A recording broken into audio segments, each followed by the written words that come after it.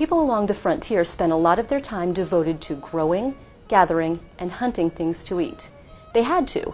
There were no supermarkets, few restaurants, and except in winter, no ability to preserve food by refrigeration. People's diets changed according to what was in season. Cooking was done on an open hearth or in a large kettle. We have only one source of heat, and that's the fire. So in the summertime when we cook, we are so hot. We are on that side of the cabin. In the wintertime, it is so cold. We are all over there where the fire is. We have no refrigeration other than our spring house. If we have a spring house, we don't have one here, but we have a creek. And so we can put things in the creek. We can fish down there as well. The colonists grew a variety of vegetables which could be eaten immediately or preserved through methods like pickling and canning.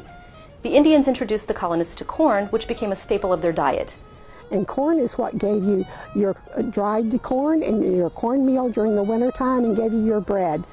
Wheat did not grow well in this area, so corn was the main crop. To get ready for winter, people along the frontier would dry fruit and smoke meat. Colonial people ate lots of game, including birds, bear, squirrel, deer, and rabbit. And because we cook seasonally, right now with the harvest from the garden, we have a feast, a harvest of uh, a bounty of our harvest. But come January and February, when we're looking at our stores and we're taking inventory, particularly in January, to see if we have enough until spring comes again, our meals are quite different. Mostly stews. Hopefully, we've gotten deer meat or bear meat. Uh, we have from the garden any root vegetables.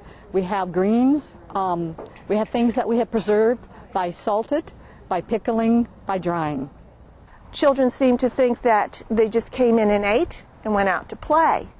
And when I explained to them what their responsibilities were, getting the water, getting the wood, constantly getting the wood, tending the fire, uh, taking care of the pepper and the salt, pounding it down so that we could use it at the table.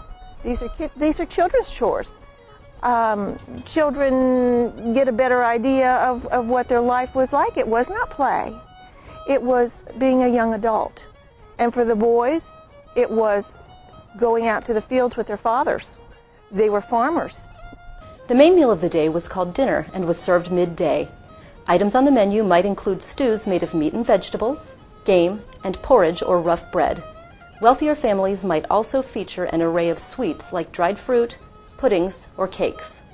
Supper was usually light and served late and consisted either of leftovers from the main meal or boiled grains such as oats or cornmeal.